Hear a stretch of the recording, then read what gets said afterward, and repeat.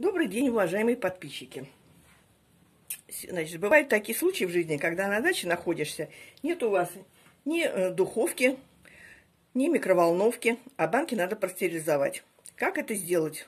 Самый удобный и простой способ. Я вам сейчас о нем расскажу.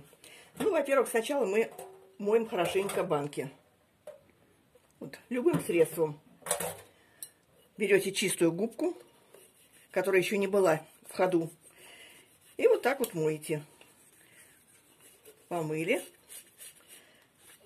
со всех сторон.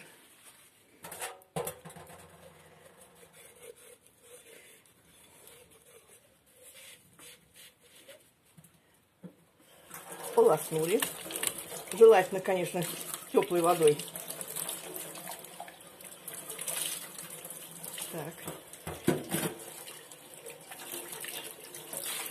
И теперь мы должны еще помыть все это с содой. Сода уберет вот этот налет от моющего средства. Так что обязательно нужно во вторую очередь помыть с содой. Вот берете любое количество соды и также как следует баночку вымываете. Вот, помыли. И можно уже холодной водичкой смыть. Не обязательно теплой. Сода легко вымывается.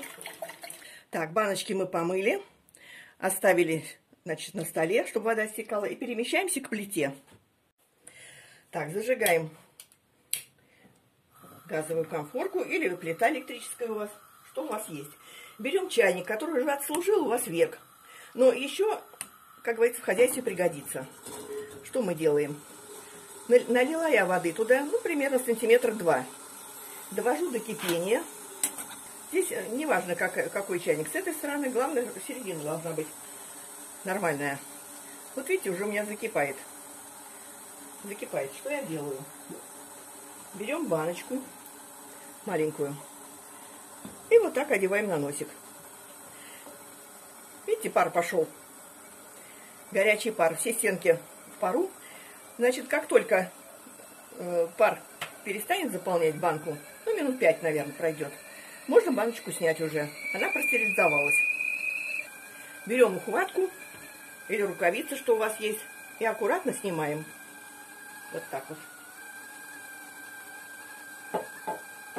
И ставим баночку остывать. Вода быстренько испарится.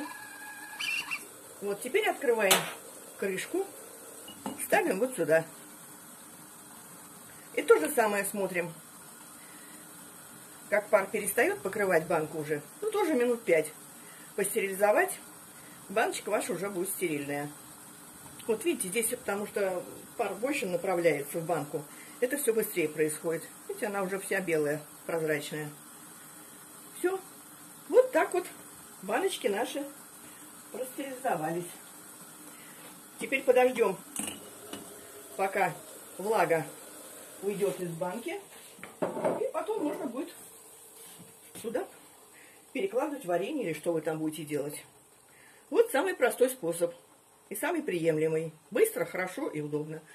Так что пишите письма, пишите комментарии. Кому что непонятно, все объясню. До скорой встречи.